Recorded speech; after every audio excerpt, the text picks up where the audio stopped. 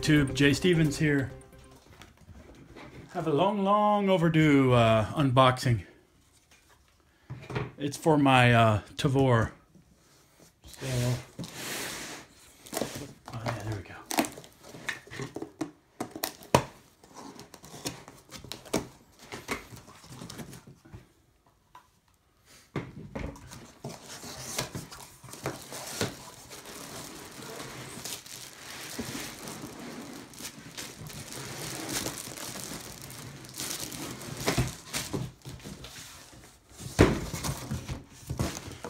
Nothing in the box.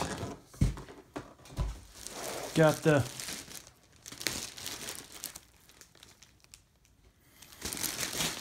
IWI Tavor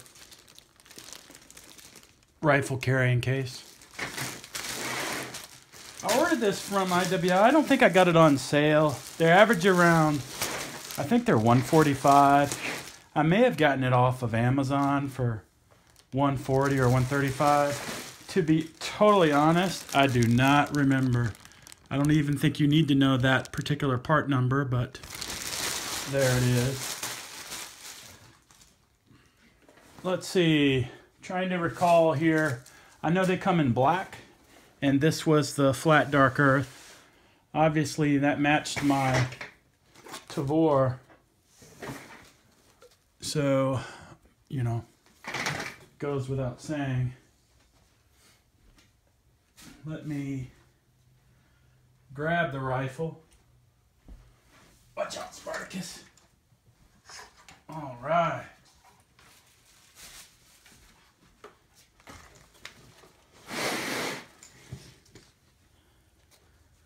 Run through label too large, heavily. Here, hell, you read while I speak. Two large, heavily cushioned and secured compartments hold your Tavor SAR and two handguns in one case.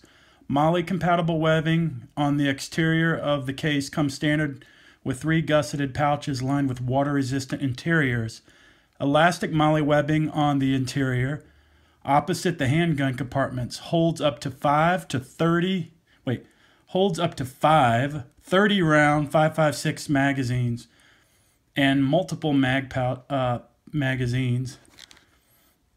Harrisburg, PA, but the dreaded made in China. I hate when they do that. Think you're getting something cool and then, you know, they pop the old China on you.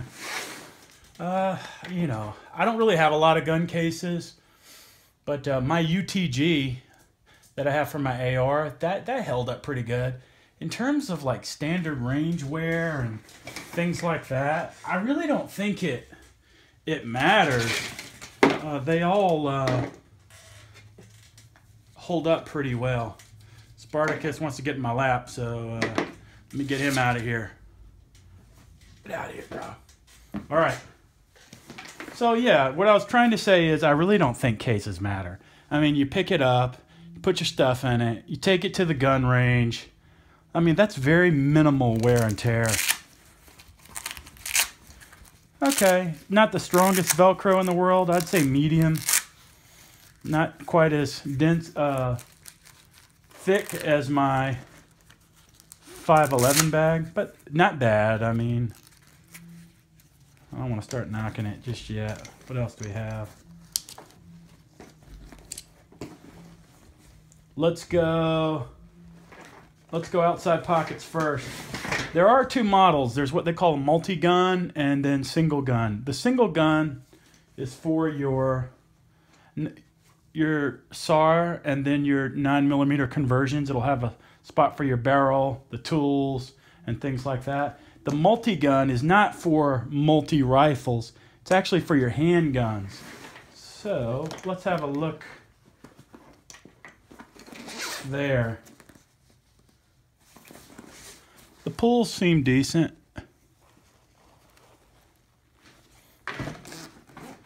Zippers seem very durable. They're not getting caught up yet.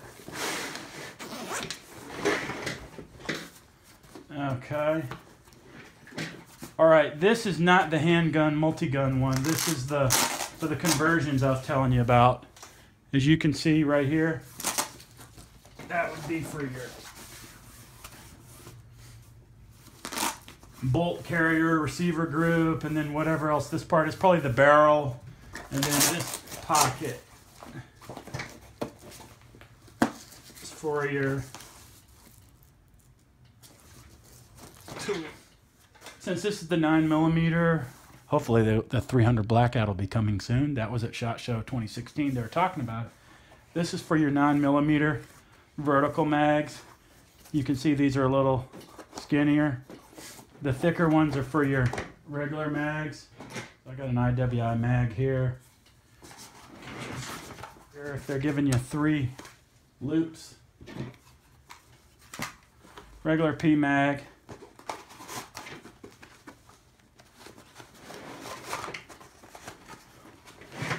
So you can load them up. It's not like it's a pocket, so I see what they're doing. Another mag. Oh, pretty good. So you can get five in there. And then I really don't, normally you could probably just zip this up, use it more as a pouch.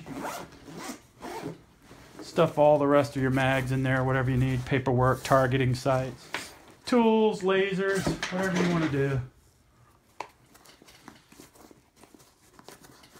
Got webbing along the outside.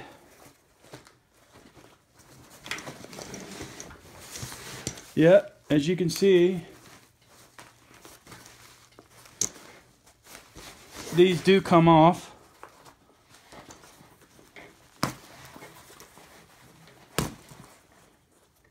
Okay, that's nice. So if you don't like these pockets, get uh, take them off. Alrighty. How about the outside?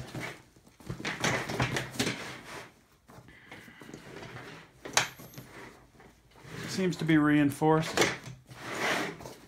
I'm going to speed it up a little bit. Different hooks and attachments. Let's get to the main compartment. Wide zippers. They seem to zip easily. All right, check that out. Little IWI hat. With the red brim.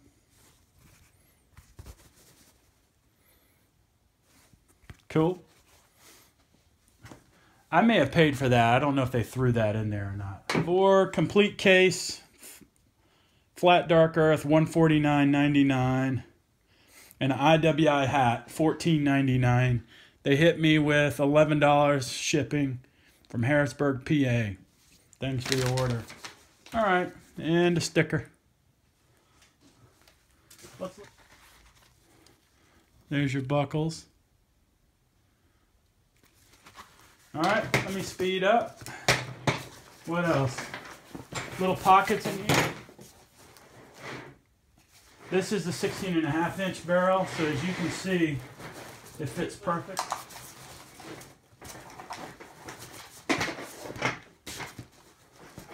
So, it's like we undo it like this. Pop this in here like that. Just common sense approach, really.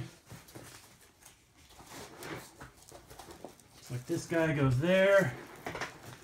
This case actually fits. I like that.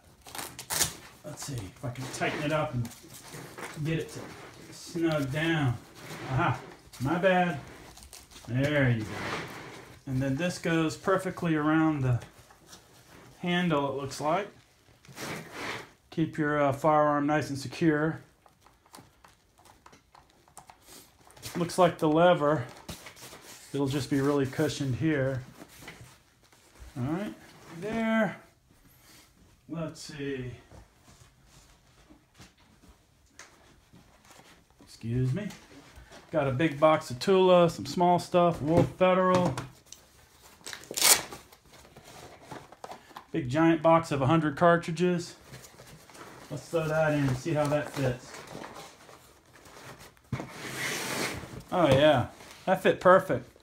Then you can layer in your 20, 20 cartridges box. what's that? Uh, 140. There you go. That's a good range. Good practice session right there. Oh yeah, it's growing on me. Watch your lengths. What I've observed is on the there's longer barrels now.